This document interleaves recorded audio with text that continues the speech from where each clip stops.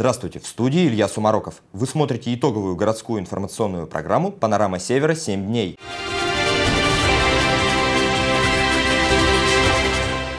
Прокуратура Архангельска оспаривает городской бюджет, точнее ту его часть, которая касается субсидирования муниципальной газеты «Архангельск. Город воинской славы». В феврале несколько заседаний прошло в Октябрьском суде. Тогда иск прокуратуры не был удовлетворен. Сегодня газета вновь оказалась в центре внимания, но уже областных судей. За ходом судебного заседания следил Артемий Заварзин. Прокуратура воспользовалась своим правом обжаловать решение суда первой инстанции. Позиция стороны ответчика неизменна. Депутаты Гурдумы, принимая бюджет, действовали строго в рамках законов России и бюджетного кодекса. Более того, выпуск информационного издания, которым является газета «Архангельск. Город воинской славы», это обязанность муниципалитета. За ней конституционное право граждан на получение информации о деятельности избранных ими мэра, депутатов и всей системы муниципальной власти. Не говоря уже о социальных задачах газеты – бесплатное распространение среди людей старшего поколения и ветеранов. Поэтому ответ на вопрос, правомерно ли выделение субсидий информационно-издательскому центру для представителей муниципалитета, очевиден.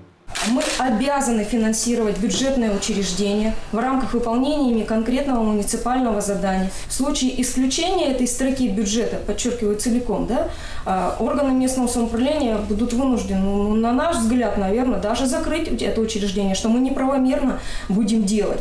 Выслушав мнение сторон, суд озвучил решение.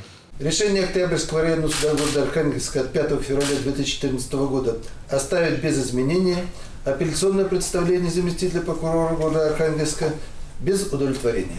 Таким образом, по мнению уже областного суда, принятый городской бюджет полностью соответствует действующему законодательству, а значит газета «Архангельск. Город воинской славы» и дальше будет приходить к своим читателям. В поморской столице дан старт вахте памяти 2014. Традиционная акция по увековечению памяти воинов, погибших в годы Великой Отечественной войны, открылась в Архангельском городском культурном центре. Это настоящая школа патриотизма. С подробностями Мария Воробьева. Каждый из этих школьников, независимо от даты, несет ежедневную вахту памяти в своем учебном заведении. Вот и на этот раз ребят из 23 общеобразовательных учреждений города объединила военно-историческая игра «Полководцы Победы». Школьники искали ответы на 30 вопросов и набирали баллы. По итогам первого этапа победителями акции стали команды Ломоносовской гимназии 20, 26 и 51 школ. Очень интересная игра, много нового для себя узнал. Э, открыл историю э, названий некоторых улиц. То же самое Петр Михайлович Новицын, э, Галушин, Прокопий Иванович. Патриотическое воспитание школьников – одно из важных задач поискового движения Архангельской области. Оно зародилось 25 лет назад. Поисковые отряды Поморья традиционно принимают участие в экспедициях в Архангельской, Ленинградской и Тверской областях Республики Карелия. За это время были найдены и перезахоронены останки сотен бойцов Красной Армии. И я думаю, что э, поисковое движение в городе Архангельске, оно с каждым годом должно все шире развиваться, и поисковых отрядов должно становиться все больше и больше. В ноябре в столицу Поморья съедутся поисковики со всей страны. Архангельску, городу воинской славы, выпала честь стать главной площадкой проведения всероссийской вахты памяти.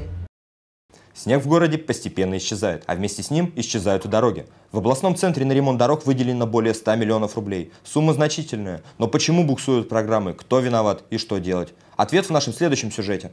Тот факт, что Архангельск построен на болоте, находит свое прямое подтверждение на улице Ярославская, и жители Соломбылы ее иначе как одним большим болотом не называют. Известно, что на 60% территории города нет ливневой канализации. Улица Ярославская в их числе. Славится она и обилием ям и выбоин. Ни ливневки, вода никуда не уходит, асфальт из-за этого теряется. На ремонт дорог выделено 78 миллионов рублей. На эти деньги проведут текущий ремонт на нескольких дорожных объектах Архангельска, в том числе и на улице Ярославской. Вот только такой финансовый импульс вряд ли улучшит ситуацию. Многие дороги нуждаются в капитальном ремонте, выторфовке, замене всех коммуникаций. А это требует более серьезных денежных вливаний. Опыт такого строительства у города есть. Дорога по улице Ваучейского. Как заверяет подрядчик, состояние этой автомагистрали не будет вызывать нареканий 10 лет. Таков ее гарантийный срок. Ну, у дороги, как и у любого другого сооружения, есть свой гарантийный срок, во время которого она должна находиться в нормальном состоянии. Впоследствии же необходимо проводить, то есть для верхнего слоя асфальтного покрытия необходимо проводить текущий ремонт. То есть это замена полностью верхнего слоя покрытия, это примерно в зависимости от категории дороги раз в 4-7 лет. То есть, как мы вот и видим, да, у нас дороги разные, да, стоят 4-7 лет, потом они приходят, верхняя часть как раз покрытия приходит в негодное состояние.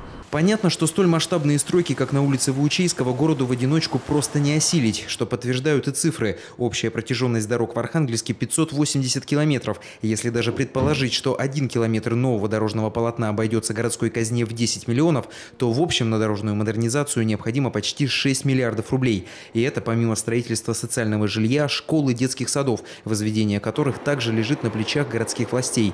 На помощь муниципалитету в свое время пришла область, когда приняла программу развития Архангельска как областного центра. Но в этом году ее реализацию областные депутаты по инициативе правительства региона прекратили.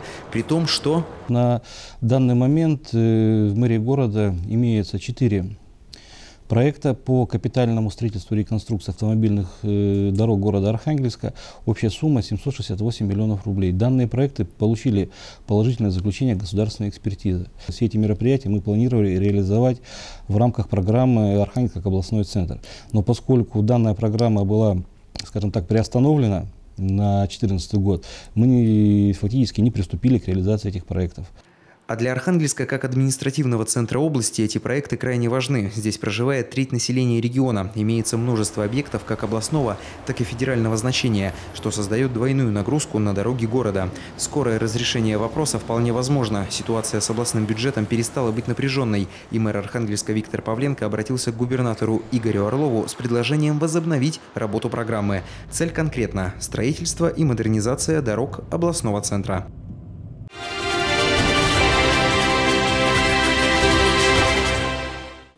Дренажно-ливневая канализация Архангельска требует глобальной модернизации. В каких-то округах города она и сейчас работает исправно, а жители других вам скажут, что ее попросту нет. И будут правы. Ведь ливневками оборудованы только 40% территории города. В чем причина такого положения дел и каковы последствия, расскажем далее. История Архангельской ливневки началась в 1930 году. Тогда коммуникации были проложены в центральной части города. В течение десятилетий Архангельск развивался и застраивался, но во многих микрорайонах сети дренажно-ливневой канализации не были соответствующим образом модернизированы, а в ряде мест и вообще не построены. Эхо неправильных градостроительных решений слышно по сей день. Снега копится очень много, и когда начинает таяние, вот вы видите, стоят какие лужи. Лужи, конечно, стоят не везде. 40% территории Архангельска ливневку все же имеют, но при общей протяженности сетей почти в 200 километров 100 находятся в аварийном состоянии. Требуется их срочная замена. Особенно в весенний период, когда происходит замораживание, оттаивание, вода попадает, разрывает и покрытие разрушается. Естественно, что водоотвод должен быть. Другое дело, что он может быть поверхностным водоотводом, то есть лишаться за счет того, что вода уходит куда-то в сторону от дороги, бывает э, ну, и либо ливневая канализация, которая тоже надо содержаться и очищаться. Это, естественно, нормальные работы по содержанию, которые надо проводить. Километры ливневки находятся в ведении муниципального предприятия «Архкомхоз». Оно регулярно проводит работу по очистке сетей. Ее периодичность зависит от размера труб. Чем меньше диаметр, тем чаще необходимо вмешательство специалистов. Аварийные же сети предприятие прочищает 2-3 раза в год. На сегодняшний день у нас прочищено по городу с начала марта 83 пролетов, очищено 23 дождеприемных решетки и прочищено около 53 колодцев. Из-за болезненного состояния ливневой канализации продолжение жилищного строительства в городе невозможно, а эффективность дорожного ремонта сводится к нулю. Правда, на улице Ваучейского картина иная. В ходе строительства магистрали проведена полная выторфовка грунта, заменены коммуникации. Мэр Виктор Павленко принял решение не размазывать средства тонким слоем на все дороги, требующие ремонта, а сосредоточить их на одном важнейшем объекте. Опыт строительства автомагистрали Новоучейского заинтересовал и глав городов центра и северо-запада России, которые в ноябре посетили Архангельск. Конечно, то, что было, скажем, э, каких-то 6-7 лет назад, вот, когда по, по центральным улицам, даже по Троицкому проспекту нельзя было проехать, то сейчас многое сделано, но много еще предстоит сделать, поэтому для этого нужно работать еще много. И работу по решению дорожного вопроса мэрия Архангельска продолжает. Уже разработан проект модернизации дренажно-ливневой канализации. Он предусматривает восстановление, строительство сетей и ремонт магистральных коллекторов. На реализацию проекта необходимо свыше 200 миллионов рублей. Их можно было бы предусмотреть в программе развития Архангельска как областного центра, синхронизировав работы по прокладке ливневки с ремонтом дорог. Но пока работу программы областное правительство не восстановило, а значит Архангельск рискует превратиться в эпицентр коммунальных проблем. И в продолжении дорожной темы. Одна из причин появления луж на дорогах и во дворах Архангельска состоит в том, что в канализационную систему вода с трудом уходит из-за скопившегося льда. В борьбе с этим явлением специалистам муниципального предприятия «Архкомхоз» удалось найти весомый аргумент. Пар костей не ломит, зато ломит ледовые преграды, особенно если пар под давлением. Это работники муниципального предприятия «Аркамхоз» расчищают путь в воде на проблемных участках дренажно-ливневой канализации с помощью передвижного парогенератора. Дренажная линия системы канализации зачастую находится на глубине промерзания, поэтому днем она не успевает оттаивать, скапливается вода, в том числе она вытекает и на проезжую часть, подтапливает и дворовые, и домовые территории.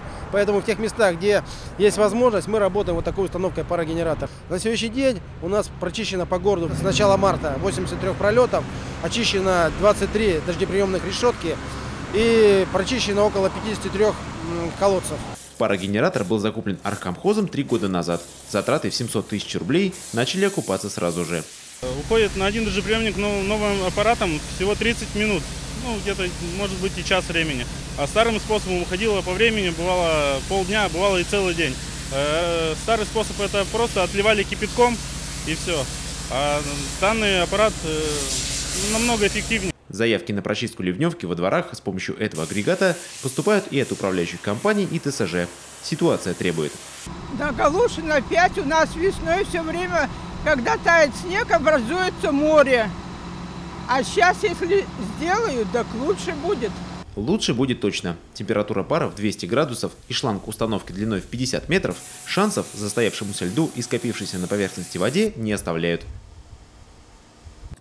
Чем вам запомнилась прошедшая неделя? У каждого свой ответ на этот вопрос. Значимыми событиями в своей жизни с нашей съемочной группой поделились архангелогородка Юлия Халяпина, участник открытого первенства по скалолазанию в вертикальный предел Никита Сюдунов и десятиклассница Татьяна Коноплева. А, в рамках «Вахта памяти» проходила военно-историческая игра «Полководцы Победы».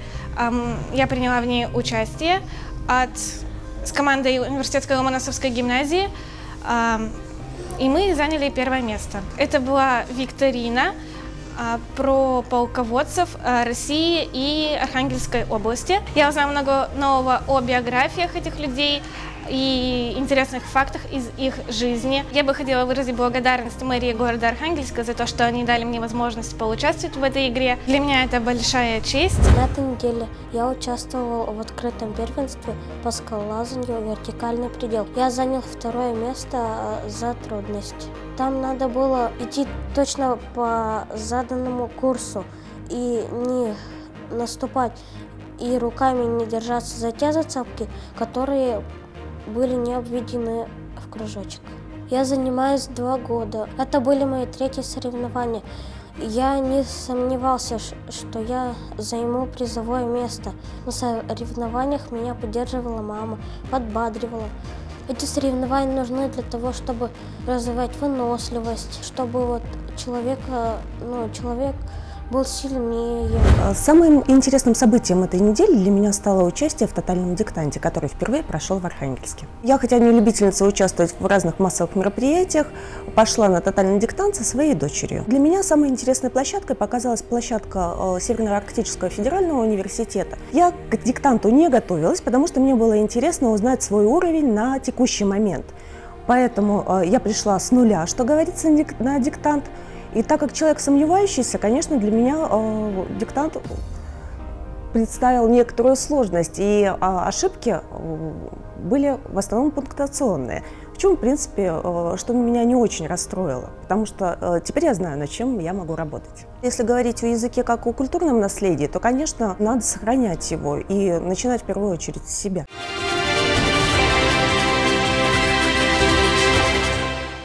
Весна обнажает в Архангельске многие проблемы, прежде всего коммунальные, и вместе с тем активизирует работу соответствующих служб. Ведь большой спектр строительных, ремонтных мероприятий можно и нужно проводить с наступлением тепла. Алексей Карельский продолжит тему. Дороги и дворы, строительство жилья и бань, школ и детских садов требуют финансирования. На что в первую очередь должны быть направлены деньги из бюджета Архангельска? На мой взгляд, в Архангельске надо бюджетные деньги тратить на ремонт дорог. Этой весной на устранение деформаций и повреждений дорожного покрытия мэрия Архангельска выделила более 31 миллиона рублей. около 80 миллионов рублей, предусмотрено в городском бюджете на текущий ремонт с укладкой нового покрытия. И это при том, что изначально запланированные на дороге средства в размере около 700 миллионов рублей область у муниципалитета забрала вместе с программой Архангельска как административного центра. Но даже в таких условиях мэрия от своих полномочий и обязательств перед горожанами не имеет права отказываться. Все полномочия одинаковые, их надо исполнять. Но в ряду этих полномочий некоторые бывают более актуальны вот в текущий момент, некоторые менее актуальны. Для жителей города наиболее важным кажется то, что а, город весной становится непроезжим. Конечно, будет спрос за финансирование на эти отрасли, на дороги и дорожное движение, на дворовые территории, на а, те коммунальные проблемы, которые привели к тому, что город весь лужами залит. Денег, как всегда, мало, на эти цели выделено и больше не позволяет а, состояние э, бюджета города Архангельска. Поэтому сегодня, видимо, для города главным будет являться выдержать сроки, выдержать вот эти объемы финансирования и на эти очень скромные, очень скромные финансы сделать а, максимальный объем возможного. Протяженная, израненная дорожная сеть требует серьезных вложений, равно как и вся коммунальная инфраструктура. Водопроводы, ливневки, канализация нуждаются не просто в замене отдельных участков, а в полной модернизации. Надо старые сети давно-давно менять, потому что сколько годов мы живем, тут ничего не меняется. Как построили где-то там в 80-х годах, так оно все и стоит. Прочистку ливневой канализации муниципальные предприятия проводят с применением современной дорогостоящей техники, но эта мера позволяет лишь избавиться от луж. А что делать с трубами, с авариями, которые водоканал устраняет за нерадивых строителей, повредивших водопроводы? Ведь деньги на это идут бюджетные. Вопрос упирается в закольцовку системы водоснабжения центральной части Архангельска, которая бы обеспечила бесперебойное водоснабжение жителей даже в случае ЧП на сетях. Однако инвестиционная программа водоканала правительством области не утверждена. Мэрия продолжает в одиночку вытаскивать из ямы убыточные предприятия, а с ним и коммунальную инфраструктуру города. А ведь сотни миллионов рублей нужно выделять из бюджета и на решение другой проблемы. Бюджетные средства надо в первую очередь по расселению из ветхого жилья. В центре такие дома стоят с подпорками. Улица Свободы и Ломоносова 169, Свобода 16. В первую очередь надо эти дома снести и строить социальное жилье.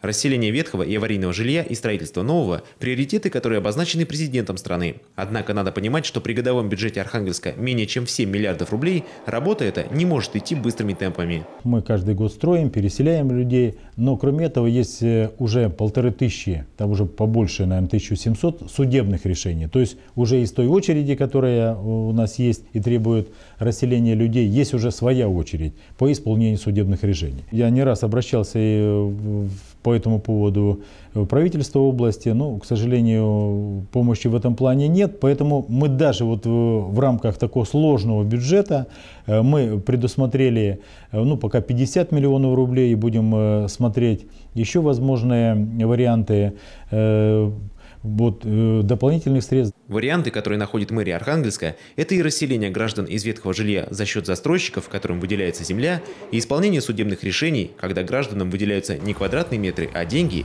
и привлечение федеральных средств на строительство социального жилья. На Конзихинской, помимо трех уже построенных домов, муниципалитет планирует возвести целый микрорайон.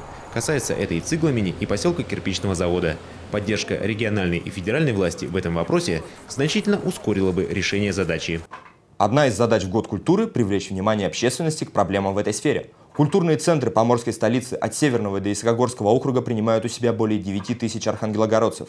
Афиши домов культуры всегда разнообразны, а количество проведенных городских мероприятий не поддаются подсчету. О жизни творческого закулисья расскажет Мария Воробьева. Впервые на этой сцене закружились в танце в 1978 году. Тогда открылся Ломоносовский дворец культуры. Сегодня здесь воспитываются около двух тысяч ярких и талантливых людей. Я в Ломоносском ДК уже более 7 лет, 6. Благодаря, вот, наверное, зрителям в сцене, то, что открылась, наверное, совсем с другой стороны, поняла, что умею больше, наверное, танцевать. Последнее наставление перед выходом на сцену художественный руководитель танцевально-спортивного клуба «Стремление» Александр Тормосов дает с уверенным спокойствием. Знает, ребята не подведут. Здесь очень много возможностей для того, чтобы развить такой коллектив. Талантливых ребят очень много. В 2013 году Ломоносовскому ДК исполнилось 35 лет. Виктор Павленко выделил Дворцу культуры 125 тысяч рублей на приобретение светового и звукового оборудования и 1 миллион 400 тысяч на пожарную безопасность. В год культуры мэрия направила из городского бюджета 10 миллионов рублей на масштабную реконструкцию АГКЦ. Отремонтирован малый зрительный зал, заменены кресла, приобретено новое звуковое и световое оборудование, заменены полы, покрашены и оклеены стены на третьем этаже. На первом построен новый гардероб. Завершена установка автоматического теплового пункта и узла учета тепловой энергии. Отремонтирован большой зал. Виктор Павленко выделил средства, и в большом зале появились новые кресла, новый театральный занавес, новая сцена – и новое звуковое оборудование. За всю историю здания, которое построено в 1974 году, не проводился столь глобальный ремонт. И такой подарок для нас в год культуры – это яркое подтверждение того, что муниципальная власть заинтересована – в расширении культурного пространства города. Ежедневно в сфере культуры города трудится 611 специалистов, более 9 тысяч архангелогородцев, участники творческих коллективов муниципальных учреждений культуры. Более трех с половиной тысяч ребят обучаются в детских школах искусств. Приобщаться к культуре в комфортных условиях – вот главная задача, которую ставит перед собой мэрия Архангельска. Мы будем делать все для того, чтобы выполнить указ президента Российской Федерации и вместе с депутатами Гордумы выделили дополнительные средства для того, чтобы поддержать и работников культуры, и это будем делать и впредь. Жители поселка Трудеевский обратились к мэру города Виктору Павленко с просьбой об открытии филиала культурного центра «Бакарица». И вот новый объект культурной жизни поселка открыт. О прошлом и настоящем клуба Екатерина Грициенко. На стендах фотоотчеты об организованных мероприятиях. Книга отзывов заполнена словами благодарности и восхищения. Для многих жителей поселка Турдеевский местный клуб, филиал культурного центра «Бакарица», стал вторым домом. Все началось в мае 2013-го. На встрече представителей Совета ветеранов с Виктором Николаевичем Павленко педагог и общественный деятель Оксана Грибок обратилась к мэру с предложением своего проекта. Я вступила в разговор ну и сказала о том, что почему бы нет в здании нашей школы, которая наполовину пустует, не открыть что-то для детей. Помог, я считаю, что Виктор Николаевич Павленко нам.